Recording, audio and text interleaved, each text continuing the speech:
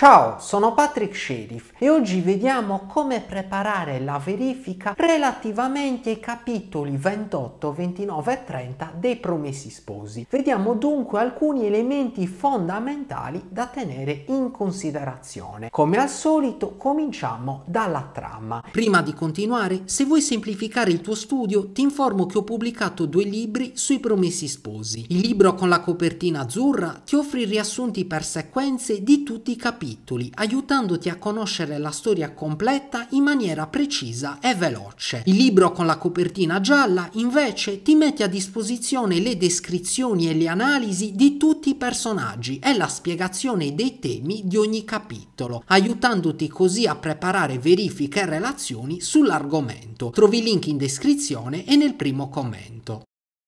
Il narratore ci illustra i provvedimenti che il governo milanese ha preso dopo i tumulti di San Martino. Si tratta di una serie di gride di provvedimenti fiscali volti ad abbassare il prezzo del pane. Tale abbassamento del prezzo del pane provoca un più rapido esaurimento delle scorte, delle scorte di farina e di conseguenza un peggioramento della carestia. Così nel capitolo 28 il narratore ci ci illustra il peggioramento della carestia che provoca una serie di morti letteralmente di fame. La gente muore di fame per le strade. Le strade di Milano si riempiono di accattoni, di mendicanti e di tantissima gente proveniente dal contado nella speranza di trovare del cibo in città. Ma in città ovviamente le scorte sono finite e dunque la gente muore di fame. Tutta questa questa concentrazione di persone, questo aumento di cadaveri per, per le strade favorisce le malattie, favorisce il deperimento fisico dei cittadini e di conseguenza il Tribunale di Sanità ha paura delle epidemie. Così si decide di aprire il lazzaretto e di concentrare all'interno tutti gli accattoni e i mendicanti che si trovano a Milano. Ma ciò ovviamente non fa che peggiorare la situazione in quanto all'interno del lazzaretto un alto numero di persone concentrate favorisce la diffusione maggiore di malattie ed infatti la mortalità aumenta. Finalmente nell'estate del 1629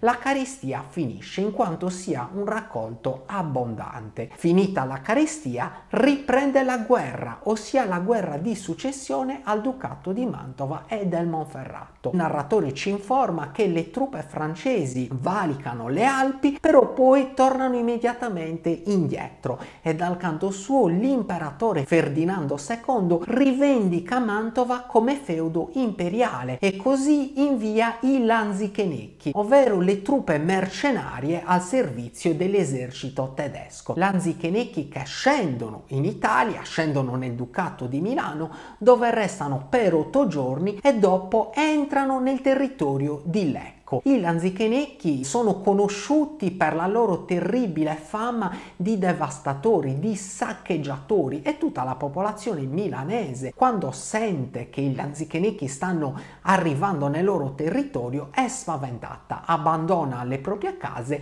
e si rifugia sui monti o sulle, o sulle colline. E i lanzichenecchi quando arrivano saccheggiano, distruggono tutto, stuprano, uccidono e continuano nel loro percorso di di distruzione e morte fino ad arrivare a Mantova. Inoltre il Tribunale di Sanità ha informato Don Gonzalo Fernandez de Cordoba che tra le file dei lanzichenecchi cova la peste e dunque non vorrebbe che il governatore di Milano permettesse loro di entrare nel Ducato di Milano, ma Don Gonzalo dice che il loro passaggio è obbligatorio per questioni di politica maggiore e pertanto per quanto riguarda la peste invita ad affidarsi alla provvidenza provvidenza. Il narratore prosegue a questo punto illustrandoci la sofferenza della gente comune e più specificatamente lo sguardo si poggia su Don Abbondio, Perpetua e Agnese che per sfuggire, per salvarsi dai lanzichenecchi decidono di andare a rifugiarsi nel castello dell'Illuminato. dell'Illuminato, castello dell'Illuminato che dopo la conversione del bandito è stato trasformato in un rifugio, in un luogo di protezione, in un luogo che è divenuto il simbolo del bene e che accoglie tutti i fuggiaschi, tutti i profughi che cercano salvezza dall'esercito dei Lanzichenecchi che sta discendendo nel Ducato di Milano. E l'Illuminato accoglie tutti, ha addirittura allestito un piccolo esercito con cui fronteggiare i Lanzichenecchi. Dunque Don Abbondio, Perpetuo e Agnese si mettono in cammino per raggiungere il castello. Durante il tragitto fanno una tappa alla casa del sarto per, per salutarlo, fanno una tappa alla casa del sarto su invito di Agnese, in quanto Agnese e Lucia erano state ospitate precedentemente dopo che era stata liberata Lucia, dunque vanno per salutare il sarto e la sua famigliola e nel frattempo il sarto informa Don Abbondio della nuova vita dell'illuminato, di quanto sta facendo, del bene che sta facendo dopo la sua conversione. Infine i tre raggiungono finalmente il castello dell'illuminato, dove vengono accolti personalmente dall'ex bandito, ex bandito che gira sempre disarmato e il narratore ci illustra, ci racconta il soggiorno di Don Abbondio Perpetuo e Agnese e di tutti gli altri profughi al castello dell'illuminato durante il passaggio dei Lanzichenecchi, quando tutte le truppe del, dei Lanzichenecchi hanno attraversato il ponte di Lecco tutti i profughi tornano al loro paese, inclusi Don Abbondio Perpetua e Agnese, i quali però esattamente come tutti gli altri profughi, trovano le proprie case distrutte, devastate e saccheggiate. Don Abbondio addirittura scopre attraverso Perpetua che alcuni suoi oggetti sono stati sì rubati ma non dai Lanzichenecchi, bensì da alcuni suoi compaesani. Ad ogni modo Don Abbondio non va da questi compaesani in quanto ha paura, ma anche paura che qualche soldato dei Lanzichenecchi sia rimasto indietro, sia ancora nel territorio di Milano e dunque dunque ogni volta chiude con grande attenzione l'uscio della sua casa,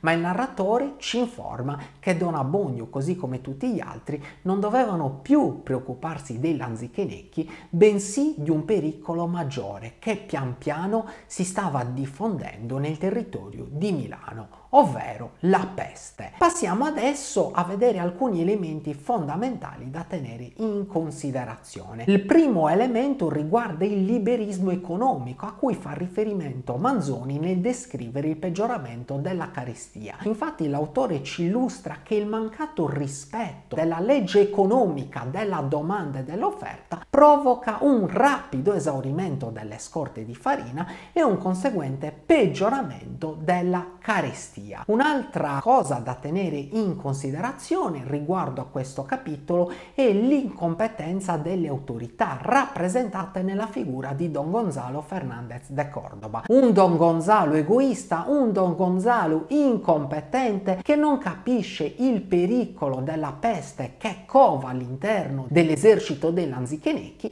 e ne permette il passaggio, ne permette l'ingresso nel territorio dello Stato di Milano. Questo perché Don Gonzalo Gonzalo è esclusivamente interessato alla sua carriera politica, ma un Don Gonzalo che verrà anche rimosso dalla sua carica di governatore e sostituito con Ambrogio Spinola, nuovo governatore dello Stato di Milano. Rimozione di Don Gonzalo legata ai suoi insuccessi durante la guerra di Mantova e del Monferrato, più precisamente al suo insuccesso militare durante l'assedio di Casale e Don Gonzalo lascerà la città tra i fischi e gli insulti della folla che lo reputa responsabile della carestia e in seguito quando si diffonderà la peste il popolo crederà che gli untori sono stati inviati da Don Gonzalo per vendicarsi degli insulti ricevuti nel momento in cui ha lasciato lo Stato di Milano. Un altro punto fondamentale da tenere in considerazione per la preparazione alla verifica riguarda il rovesciamento della storiografia ufficiale che Manzoni applica in questi capitoli. Infatti la storiografia ufficiale ha sempre dato grande attenzione, esclusiva attenzione ai personaggi importanti, principali e non alla gente comune, non alla povera gente. Invece qui Manzoni sofferma il suo sguardo sulla gente comune, mostra da vicino le conseguenze orribili e terribili che la guerra provoca sui più poveri. E così vediamo Don Abbondio che si lamenta mentre si dirige al castello dell'Inominato, che si lamenta che brontola per la sofferenza che deve subire. Così vediamo la vita dei profughi nel castello dell'Inominato, così vediamo la paura delle persone comuni nei confronti dei lanzichenecchi e soprattutto vediamo l'orrore e la devastazione rappresentate attraverso le case distrutte e saccheggiate di Don Abbondio, Perpetua e Agnese. Allo stesso tempo, per ottenere questo rovesciamento della storiografia ufficiale, ma mantenere la veridicità storica in linea con il romanzo storico, Manzoni opera una fusione tra verità e invenzione, ma questa invenzione è appunto un'invenzione verosimile e per ricostruire il contesto si appoggia a far riferimento a delle vere e proprie fonti storiche, tra le quali citiamo l'istoria patria di Ripamonti, il ragguaglio di Tadino e le numerose gride e documenti consultati dall'autore. Un altro elemento da considerare è la citazione del poeta Achillini che Manzoni fa per criticare la lirica barocca e la poesia encomiastica. Infatti il poeta Achillini viene citato in maniera ironica facendo un riferimento ai versi composti in occasione appunto della discesa dei francesi in Italia. Un'altra cosa da tenere in considerazione riguarda l'anafora ripetuta usata per ben 11 volte della parola passano, riferita alle truppe dei Lanzichenecchi che appunto passano il ponte di Lecco. E questa ripetizione anaforica del verbo passano dalla prospettiva di chi guarda appunto le truppe passare serve ad enfatizzare quell'ansia, quell'angoscia, quell'attesa ma anche quella speranza che il tutto finisca al più presto dei fuggiaschi che appunto guardano le truppe dei Lanzichenecchi che lasciano finalmente il territorio di Milano. L'ultima cosa da tenere in considerazione riguarda la nuova vita dell'inominato dopo la sua conversione. Apprendiamo infatti che alcuni bravi hanno lasciato il castello, altri bravi sono rimasti con lui e che tutti i bravi rimasti, tutti i nemici dell'innominato e addirittura il, la polizia e il popolo ammirano l'innominato, lo rispettano e non si permettono di aggredirlo o approfittarsi della sua nuova, della sua nuova vita, in quanto l'innominato ha deciso di girare sempre disarmato e di non commettere più nessun atto di violenza. Allo stesso tempo però l'illuminato ha conservato tutte quelle caratteristiche positive dell'uomo di un tempo, infatti si dimostra carismatico e coraggiosissimo, come ci mostra il narratore quando ci racconta che l'illuminato a capo di un piccolo esercito formato dai suoi uomini scaccia le truppe di Lanzichenecchi che avevano invaso un paesello vicino al suo castello. Un'altra riflessione sulla nuova vita dell'innominato riguarda il comportamento della giustizia, in quanto la giustizia non punisce l'innominato, non lo arresta, così l'innominato gode di impunità per tutti i terribili crimini commessi precedentemente. Su questo punto il narratore ci spiega che da un lato la giustizia riteneva inutile arrestare adesso l'innominato che si era convertito quando non era riuscito ad arrestare arrestarlo prima quando faceva del bene, dunque sarebbe stato ridicolo arrestarlo in questo momento.